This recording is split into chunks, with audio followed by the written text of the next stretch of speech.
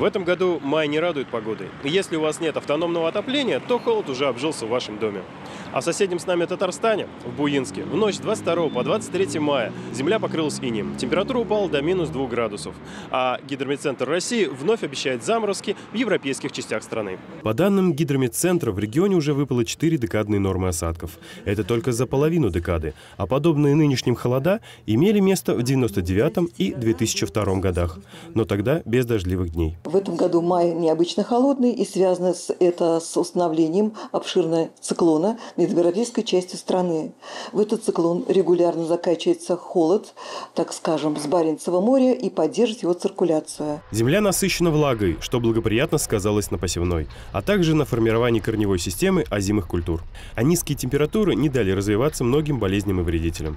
Приближающиеся заморозки не повлияют на уже высаженные растения. Производители овощных культур действительно столкнулись э, со сложностями. Это особенно ка- касаемо, касаемо выращивания капусты рассадным способом. Но, тем не менее, ситуацию смогли выправить. Атмосферные капризы практически не сказались на работе дорожных служб. Незначительное отклонение от плана не изменит конечного результата, уверяют специалисты.